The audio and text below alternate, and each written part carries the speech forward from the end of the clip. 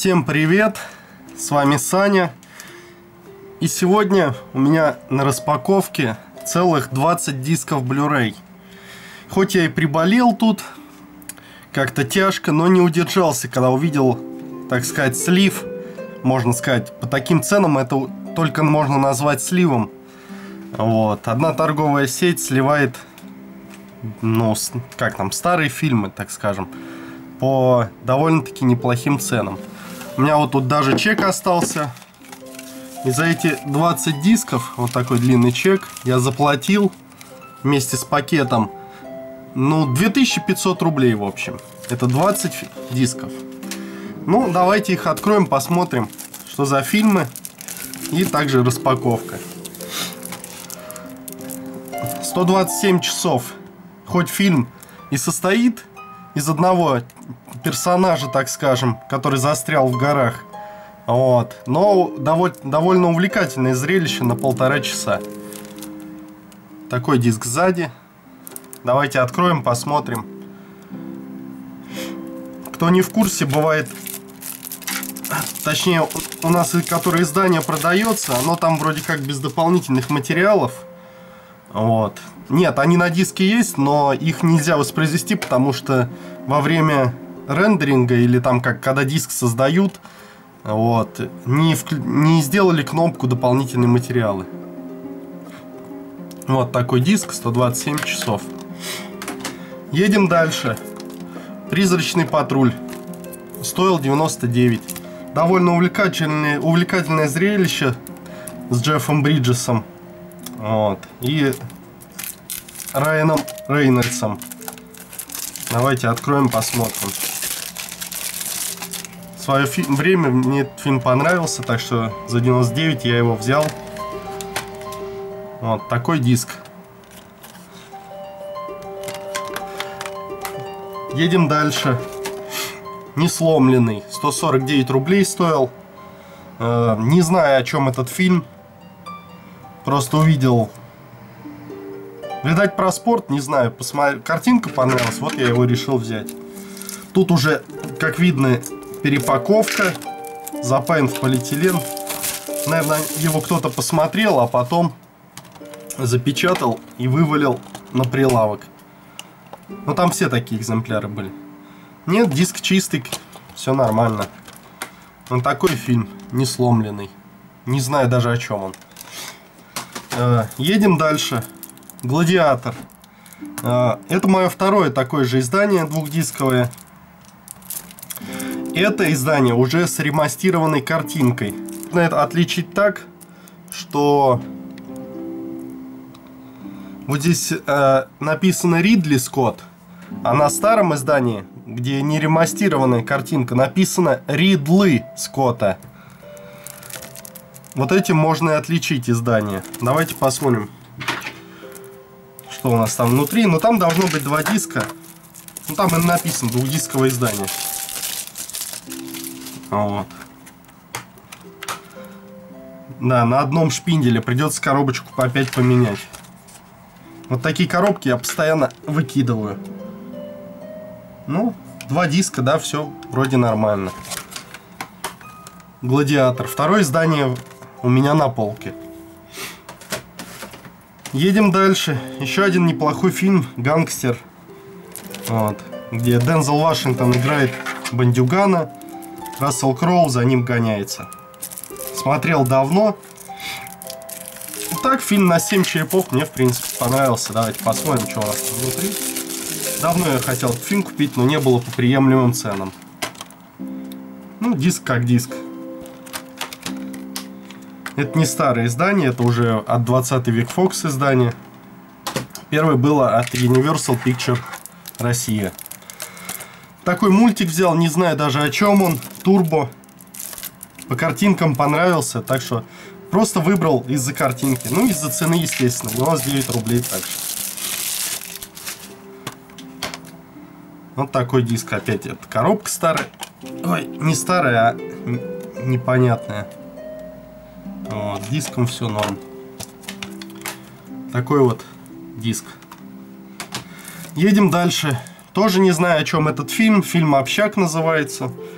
Взял, потому что Том Харди, потому что играл Безумного Макса, как бы этим все сказано. Вот. Даже не знаю, даже не залез на сайт, не ознакомился, сколько там черепов выставлено этому фильму. Ну, 99 рублей не так много. Сейчас сигареты стоят дольше, до, дороже, то есть. Вот, вот такой диск. Фильм «Общак».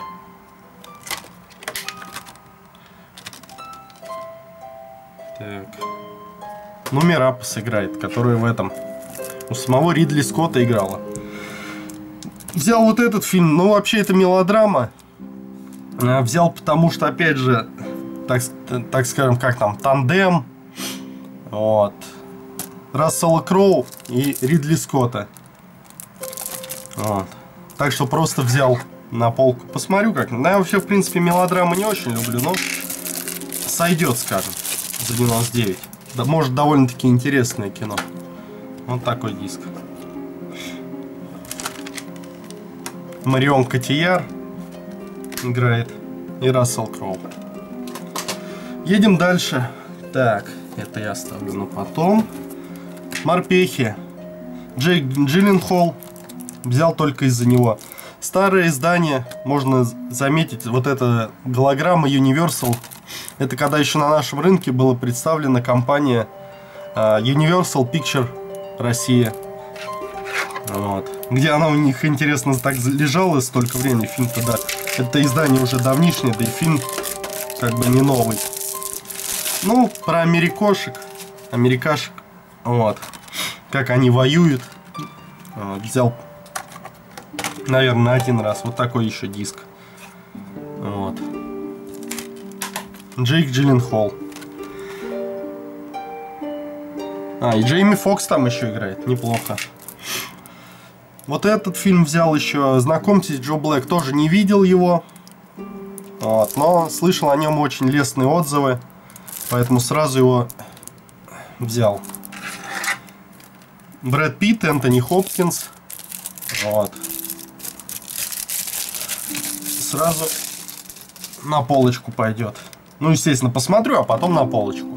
Вот. Такой диск тоже фильм Universal, но это уже перевыпуск от 20 век Fox. Едем дальше. Обливион. Том Кукуруз. Ну, тоже мне этот фильм впечатлил. Не на один раз. Я его с удовольствием пересмотрю. Красивый такой. Вот. Ну, еще плюс Морган Фриман там играет. Вот. Как это там? Опять про конец света, антиутопия. Вот. Вот такой диск. Фильм Обливион. Том Кукуруз. Едем дальше. Форсажок взял. Первая, вторая, третья, четвертая часть у меня есть. Пятой нету. Вот. И смотрю, стоит. Шестая часть, думаю, ну надо брать. Шестая часть все-таки форсажа. Конечно, они ушли от своих канонов. Первой части, второй.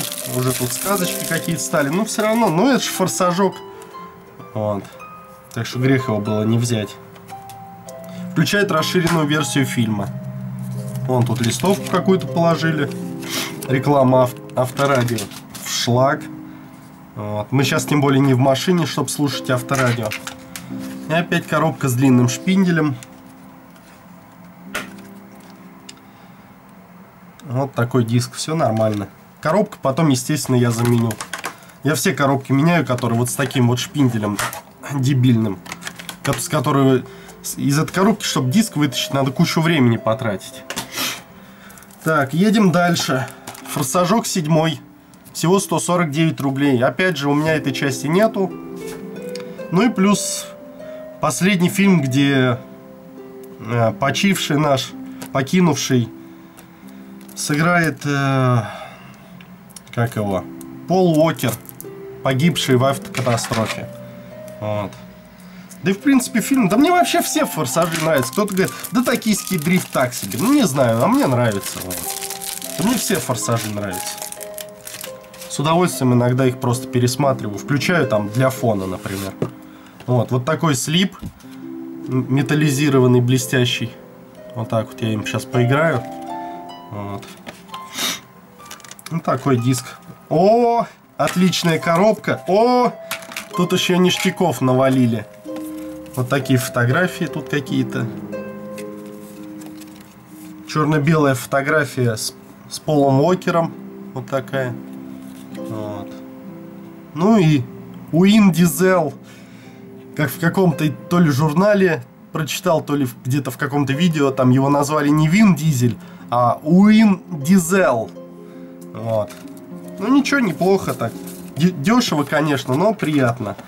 Но самое то, что меня в этом издании удивило, это коробка с канава Elite. Ее можно вот, вот она отличается даже, вот такие углы у нее, и вот здесь вот написано Elite. Это самые лучшие коробки вообще, которые можно на этой земле найти, Blu-ray коробки. Они все просто вот идеальны, нет там брака, вот по крайней мере не встречал. И, и лого у них напечатано отлично, и сами коробки по качеству просто отличные. Очень рад, что некоторые наши дистрибьюторы начали использовать эти коробки, закупать их. Они же все-таки у нас не продаются, их можно только в Америке заказать, там, в Европе, не знаю. Ну, вот такой форсажок. Едем дальше. Железный кулак. В принципе, мне этот фильм, я один раз его смотрел. Ну, так скажем, я его просто как-то не понял. И вторую часть я смотрел, что-то, блин, непонятная муть какая-то. Вот. Но тут Квентин Тарантино, вот, Рассел Кроу. И все-таки решил я его еще раз взять. Ну, может, я его потом еще раз пересмотрю. Вот. Но с первого раза, что не первую часть, что вторую часть, я вообще не понял. Вот. Но зрелище там неплохое. Вот такой диск. Железный кулак. Взял также вот такой вещицы. Элвин и Бурундуки. Всего 300 рублей. Ну, не знаю. Ну, в принципе, в принципе, слишком детские. Слишком такие наивные. Но, блин, не знаю, тут может быть от жадности или чтоб на полочке, чтоб было побольше количеством. Я все-таки решил это взять за 300 рублей. Тут, о, ёпарасоте. Сейчас дойдем до этого. Тут три фильма в этом издании, общий слип у них. Вот, смотрим, что меня так поразило. Опять коробки элит, элитные коробочки, вот они. На всех изданиях. Элвин и Бурундуки 1. Открываем. Элит. Вторая часть. Коробка Элит. Третья часть. Коробка также Элит. Даже, даже это... Вот я сомневался до этого, как открыл то, что я их взял. Ну, типа, нафиг, они слишком детские, да ты не будешь это смотреть. Также можно раздербанить только ради коробок. Да, может по 100 рублей коробка это дорого, вот, но заказывать их из-за рубежа еще дороже. Вот. Так что приятный, для меня мелкий, но очень приятный бонус вот с этими коробками. Едем дальше. Еще вот таких три а, Blu-ray 3D. Уже третий в моей коллекции фильм, этот «Парк юрского периода», периода. Это трилогия, там есть первая часть. Коллекция Стивена Спилберга, там тоже первая, вторая часть. Вот. И тут пришлось взять только ради 3D диска, потому что 3D отдельно не купишь. Вот. А тут как бы Blu-ray 3D и обычное издание. Вот в таком слипкейсе. Вот. Только домой пришел, и когда потряс, узнал, что диск слетел. Ну хорошо, слетел не 3D диск, хотя не поцарапался. Старая накатка из трилогии. Это из трилогии накатка. А вот это уже новая накатка для 3D диска. Взял только ради 3D. Вот. Но по сути 3D я еще как-то не располнил. Я так к нему как-то отношусь пофигистически. Есть оно, нет. Но ну, это парк юрского периода, и просто только ради этого. Ну и плюс вот такой слип. Слип-кейс. Или как слип-кавер. Вот. Карман его еще иногда называют. Вот так вот. Такое вот издание прекрасное для меня.